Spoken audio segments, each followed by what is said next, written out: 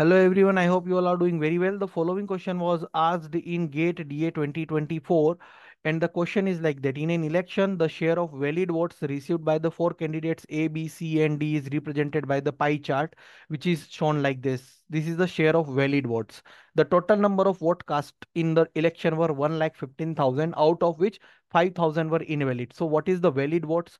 Total valid votes are 1 lakh 15,000 minus 5,000 invalid. So I am going to get 1 lakh 10,000. These are the total valid votes out of which what they are asking based on the data provided the total number of valid votes received by candidate B and C. So candidate B is getting 25%, candidate C is getting 20%. That is 45% of 11, uh, 1 lakh 10,000 right or not? So if I'm going to just divide it, I'm going to get uh, 1100 into 45. That is uh, 49,500.